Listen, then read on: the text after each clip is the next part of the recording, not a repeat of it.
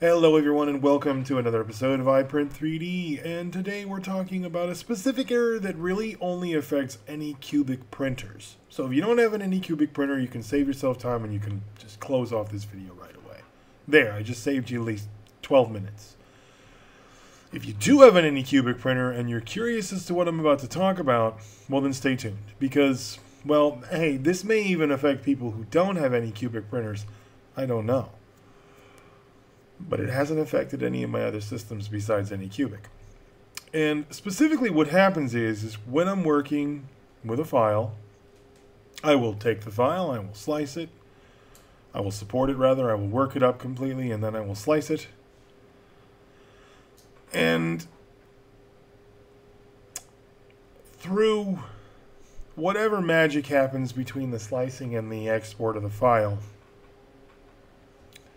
something gets wrong.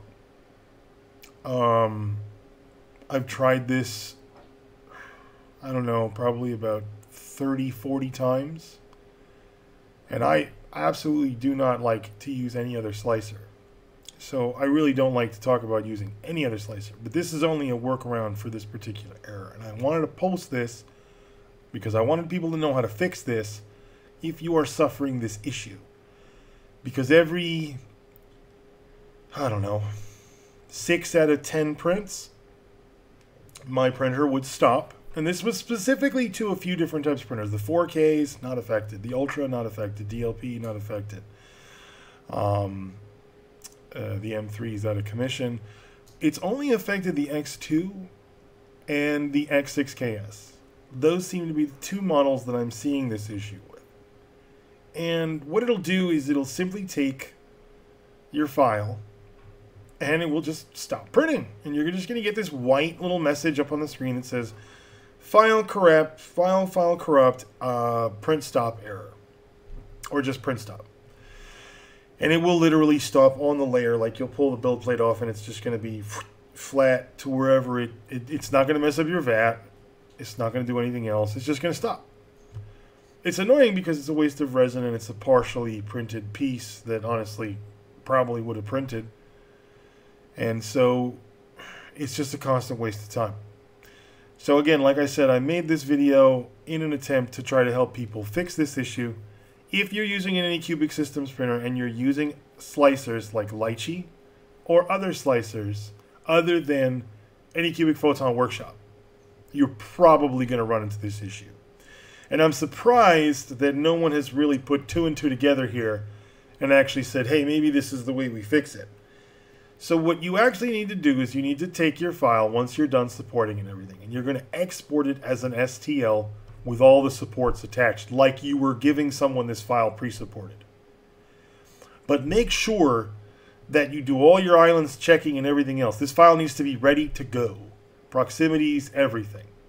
Export that file out, and then you're going to want to open up your Anycubic Photon Workshop. Now, if you have an Anycubic printer and you don't have this software installed, it's relatively easy to go find. You just go to anycubic.com um, and you can find download package for the newest version of it. Download it, install it, and uh, you're good to go. Now, I believe uh, if you do get one of their printers, you should just actually find the software on the thumb drive. Um, and I don't know if there's a difference.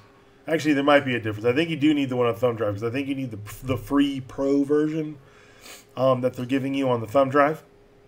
So once you take that file and install that, um, and then you'll you'll have the uh, the Photon program that you'll need to do the next step of the process.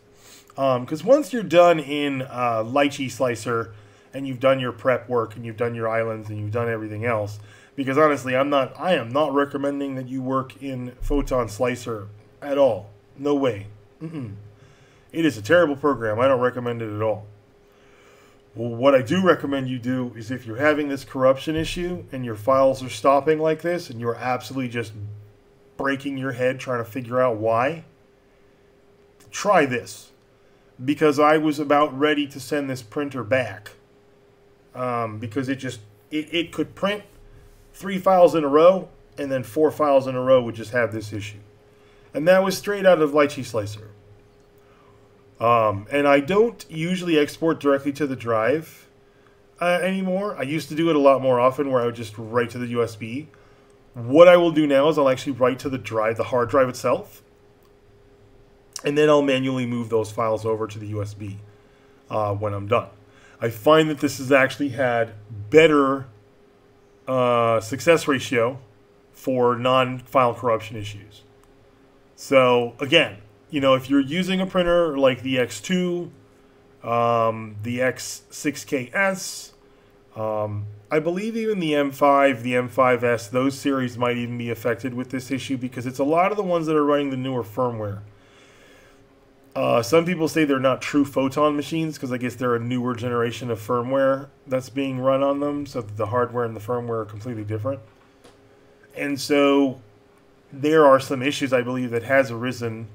And I don't know if this is a bug specifically with Lychee Slicer because I have run into a couple threads on Reddit and other locations where folks have talked about this issue with Chitubox as well as Tango.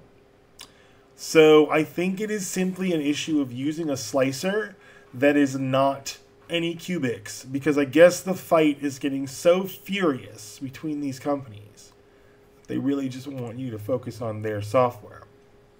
So unfortunately, I think that's what it's down to. So we're going to swap over to the Photon Workshop here, and I'm going to show you. It's a very stark program. When you import your STL, your fully supported STL, it's going to want to repair it, which is fine. Go ahead and let it, because I think this is part of the issue.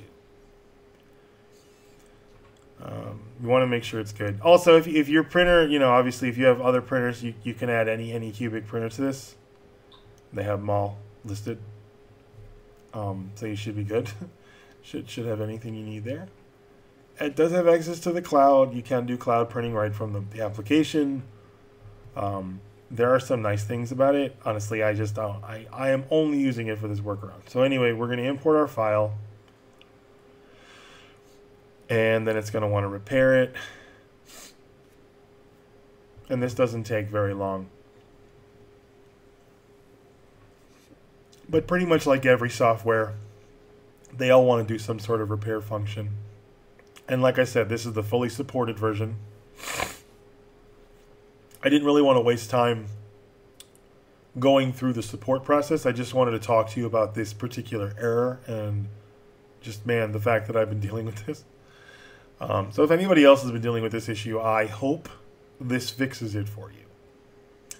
I really do. Because it fixed it for me. And although it's a bit of a pain, it's a great workaround because now I'm able to reliably um, output files to the X2 and not have to worry about um, corruption issues.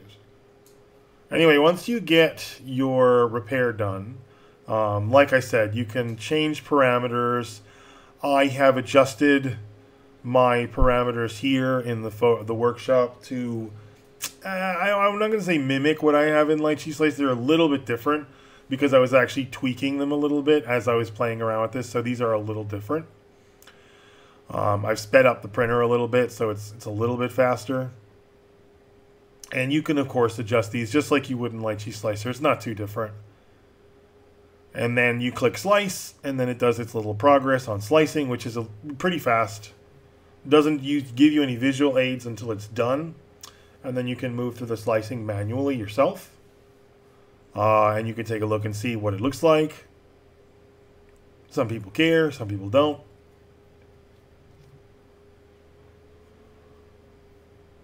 And then once you're done, you can say save slice file.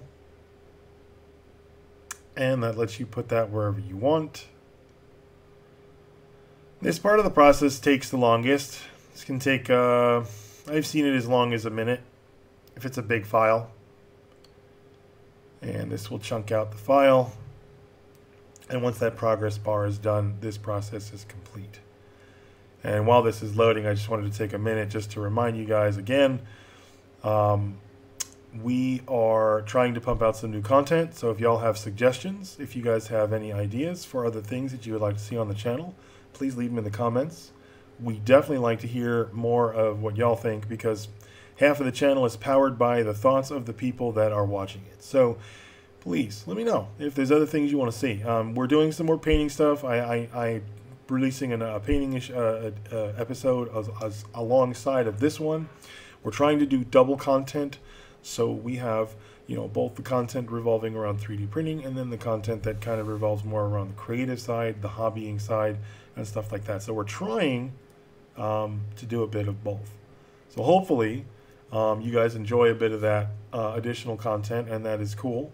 And if not, um, let us know what you would like to see. We would certainly love to hear more of your opinion on that. And I really appreciate that. Anyway, uh, this is almost about done. Like I said, this process can take a while. Uh, I said a minute. Geez, I think it's gone over a minute on this one. So this essentially is the part of the process that on every other slicer we see that visual where the slice usually goes layer to layer and you just it plays that little animation for you. So Workshop doesn't do that. You can do it manually if you want to, um, and then it just does this loading thing. This part of the process is the actual slicing. This is where it's actually taking each render and putting them into that package um, with the slices. So this this part of the process is the actual longest part of the process. And that is it. Once it's on there, go ahead and pop that on your USB drive, pop it in your printer, and let it rip. And hopefully that solves your problems. And anyway, uh, that's it for this episode. See you all again next week, and hope this was good. Thank you guys for watching.